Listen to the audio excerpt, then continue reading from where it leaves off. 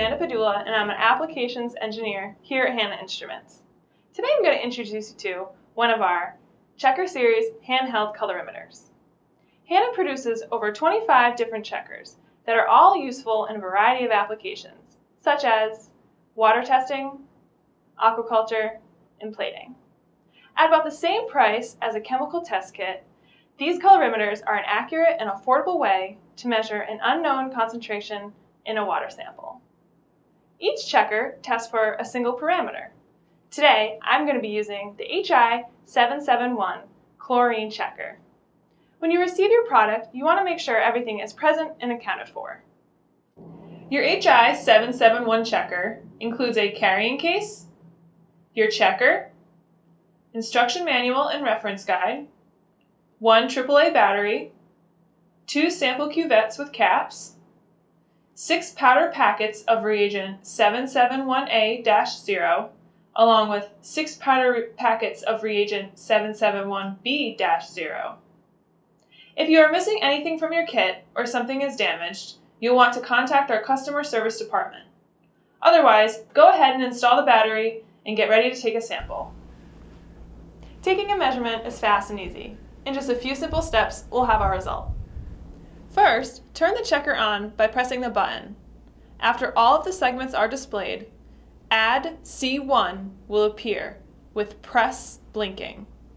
Next, fill a cuvette with 10 milliliters of unreacted sample and replace the cap. Make sure the cuvette is dry and void of any fingerprints by wiping it down with our HI 731318 lint-free cloth sold separately. Place the cuvette into the checker. Be sure to align the break in the cuvette's 10 milliliter line approximately with the hinge of the checker and close the cover. This indexing is important to ensure a constant distance for the internal light to travel. Press the button and wait for Add C2 to appear with press blinking. Remove the cuvette Open it and add the contents of one packet each of the HI 771A-0 and HI 771B-0. Replace the cap and gently invert for 20 seconds. Lightly tap the cuvette to remove any air bubbles that may interfere with the reading. Wipe and index the cuvette back into the checker and close the cover. Press and hold the button until the timer is displayed on the LCD. The instrument will directly display the concentration of chlorine in parts per million, or ppm. And that's how you measure chlorine, using the HI771 chlorine checker. It's important to note to discard your sample after taking your measurement.